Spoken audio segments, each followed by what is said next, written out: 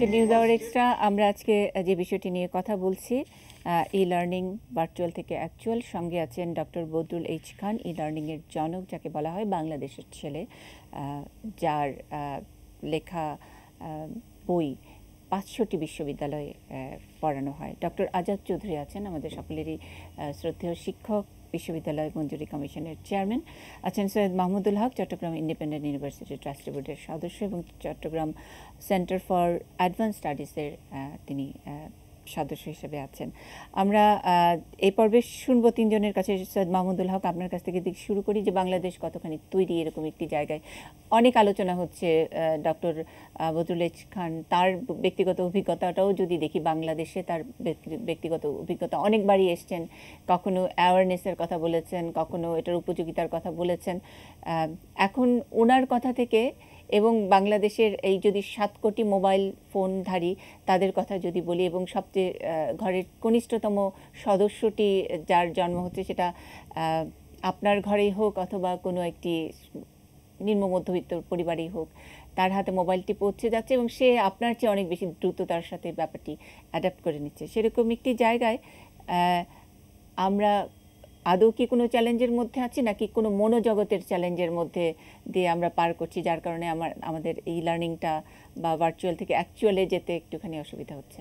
হ্যাঁ ধন্যবাদ। অ্যাকচুয়ালি আমরা যা বলেছি আজকে এতক্ষণ যে আলাপ করলাম আমরা সেটা থেকে আমরা আমরা বলেছি আলোচনা না। আমি আমার বিং এ বিজনেসম্যান আমি I try to be more focus results এবং সেই কারণেই আমরা যখন চট্টগ্রামে নিয়ে গেলাম আমরা বললাম যে immediately start project pilot project যেটা উনি এখন বললাম যে ইনস্ট্রাকশনাল ডিজাইনের উপরে কাজ করছে এবং আমরা যারা কাজ করবে তাদের এমপ্লয়াবিলিটি তাদের এমপ্লয়মেন্ট আমরা করতে পারছি কিনা সেটাও দেখা যাচ্ছে দূর জিনিস আমরা যাচ্ছি।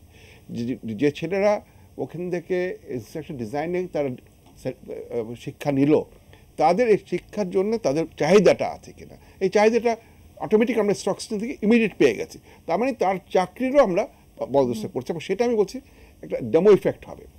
এটা গেল আমরা ইমিডিয়েট একটা গেইন আমরা করতে চাই। এবং আমি মনে হচ্ছে small step to big small step big leap আর কি সেকেন্ড হচ্ছে যেটা গতকালকে আমরা মঞ্জুরি কমিশনে গিয়েছিলাম মাননীয় চেয়ারম্যান সাথে আলাপ করেছি যেখানে আমরা বললাম যে ঠিক আছে public university already ready with virtual classes এখন এটার সাথে প্রাইভেট ইউনিভার্সিটি আমরা কীভাবে লিঙ্ক আপ করতে পারি?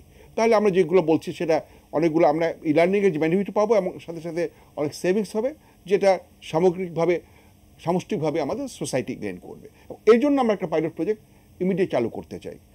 এই দুটো কিন্তু আমি মনে করি এই আজকের ওনার এইবারের যে ঢাকা সফর বাংলাদেশ সফর সেখানে যেটা যে স্বপ্ন আমাদের এই যে চেয়ারম্যান সে পনেরো বছর আগে দেখেছিলেন সেই স্বপ্ন বাস্তবায়ন দেখে আমরা অ্যাকচুয়ালি যাচ্ছি ভার্চুয়াল থেকে অ্যাকচুয়ালি যাচ্ছি। স্যার খুব ছোট্ট করে আমার শেষ করতে হয়। হ্যাঁ, আমাদের কিন্তু এটা নেসেসিটি কারণ হলো আমাদের এনরোলমেন্ট ইন টার্সারি লেভেল এত কিছু করার পরও আপনি বলছেন অনেক বিশ্ববিদ্যালয় প্রাইভেট হয়েছে সাতত্রিশটি পাবলিক আমি বলছি না স্যার আপনার স্ট্যাটিস্টিক্স না না আমি বলছি সবাই বলছি। কিন্তু এই সত্ত্বেও আমাদের enrolment in tertiary level is only twelve percent এটার কারণ হলো আমাদের ইনফ্রাস্ট্রাকচার নাই কারণ হলো আমাদের ফ্যাকাল্টি রিসোর্সেস নাই কারণ হলো আমাদের অ্যাক্সেস যোগ্য দিতে পারছি না।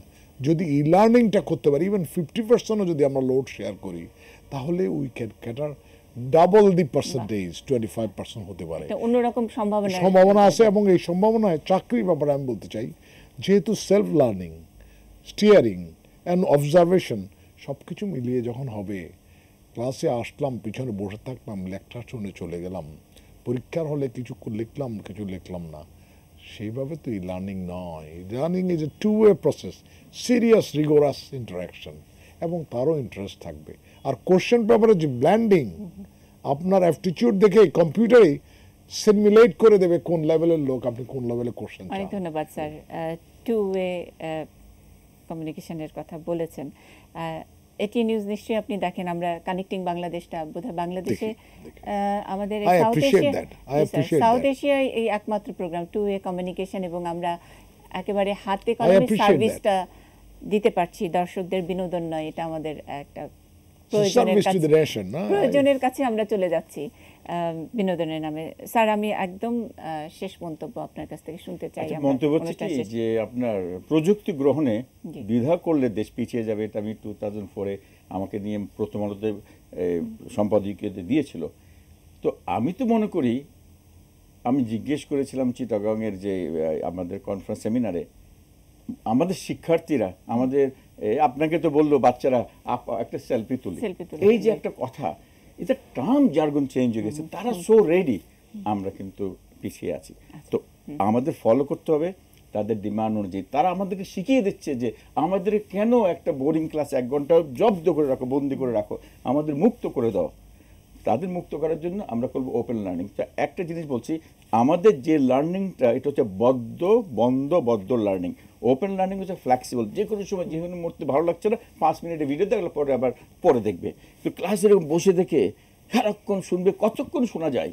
এই যে একটা বোরিং আর আমাদের ইয়ে শিক্ষার্থীরা মোবাইল ফোন পাওয়ার পর থেকে স্মার্টফোন তারা মাল্টি টাস্কার ওরা হেঁটে যাচ্ছে এটা চালাচ্ছে কোনো কথা শুনছে না। কিন্তু আপনি ওদের বিরুদ্ধে একটা কিছু বলেন তোমরা না আমি ঠিক আমি করিনি আমাকে বিনা দোষে দোষারিত করছ। তার মানে ওরা মাল্টি টাস্কার কী করবেন? শিক্ষার্থীদের এই কালচার ওই রকম এখন আমার ইউজিসি চেয়ারম্যান সাহেব অনারেবল চেয়ারম্যান ওনার আগ্রহ ওনার প্যাশন এই জিনিসটার মাধ্যমে আমি চাই যে দ্বিতীয়বার যখন আসব আমার জন্য কোনো ধরনের বক্তৃতা বা অ্যাওয়ারনেস না অথবা নীতিমালার কোনো নীতিমালা দেখব অজুহাত যেন না আসে। নিশ্চয়ই আমরা আমরা কোনো মানে এরকম একটি বিশ্ববিদ্যালয়ে বসে আপনার কোনো কথা শুনতে চাই যেটা বাংলাদেশের হয়তো কোনো প্রথম ই লার্নিং এর বিশ্ববিদ্যালয় হোক কোনো জায়গা থেকে শুরু হোক।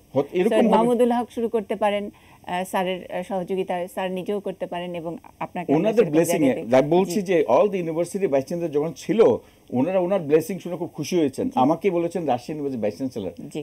আপনি একটা আমাদের রাশিয়াতে আসেন। খুলনার একজন বললেন খুলনা আসেন। এই যে আমার যে একটা চাহিদা বেড়ে যাচ্ছে ওনার একটা বক্তব্যের কারণে আমি তো বাংলাদেশে যেসব all vice chancellor agreed all all vice তাহলে আপনি আমি এবং কমন অফ লার্নিং বলেছেন ডক্টর মিশ্র বলে গেছেন যে বদ্দুল খানকে আমরা সব জায়গায় পাঠানোর আমরা ব্যবস্থা করব। তো আমার যে দেশটা দেখা আমার হয়নি ছোটবেলায় গেছি প্রত্যেকটা দেশ ই লার্নিং এর কারণে দেখতে পারব। যেখানে দেখতে পারব না ভার্চুয়ালি ওদেরকে ঘরে বসে ভার্চুয়ালি ওদের সাথে কথা বলব। আমি চাই এই জোয়ার যেন বন্ধ না থাকে। কারণ আমাদের শিক্ষার্থীরা অন- অনেক অনুসন্ধিসমান তারা খুব ভালো কাজ করবে তারা কেন বিদেশে গেলে ভালো করে? এখান থেকে বসে ভালো করে আরেকটা জিনিস বলছি। ঢাকা ইউনিভার্সিটি বা চট্টগ্রাম বা রাজশাহী বা বুয়েতের কোন একজন শিক্ষক আন্তর্জাতিক মানের যদি একটা কোর্স দিতে পারে এই জিনিসটা আমাকে বিদেশের শিক্ষার্থীরা নেবে এবং ওদের যে ইন্টারাকশন এবং ইন্টারনাল পলিসি আমাদের ঠিক করতে হবে এবং এই জন্য আমাদের কতগুলো জিনিস? ইন্টারন্যাশনাল ই লার্নিং স্ট্যান্ডার্ডস একটু একটা বই লিখেছি। সো দ্যাট ওরা আপনার যে চাচ্ছেন ওটা করবেন। অ্যাক্রিডিটেশন এই যে আপনারা যেটা করছেন দেশি অ্যাক্রিডিটেশন আছে এবং বিদেশি ইউরোপিয়ান অ্যান্ড আমেরিকান অ্যাক্রিডিটেশন আপনারা পাবেন। তো এটার জন্য আমাদের একটু সুদূর প্রসারী একটা করতে হবে। এইখান থেকে বসে আমরা যে কোর্সটা দেবে অন্য ইউনিভার্সিটিও নেবে। যে অনেক ধন্যবাদ। অনেক ধন্যবাদ doctor Batul H Khan doctor Azad Chowdhury এবং সৈয়দ মাহমুদুল হক। যে কথা দিয়ে ডক্টর বদরুল খান শেষ করতে চাইলেন, এই জোয়ার যেন বন্দনা হয়। এই জোয়ারে আমরাও আছি, এই জোয়ারে দর্শক আপনারা যারা আছেন, আপনাদের সকলের সর্বাঙ্গীন সহযোগিতা দরকার। তাইলে আমাদের ই লার্নিং ভার্চুয়াল থেকে অ্যাকচুয়ালে একটা বাস্তব রূপ পাবে। ভালো থাকবেন সবাই।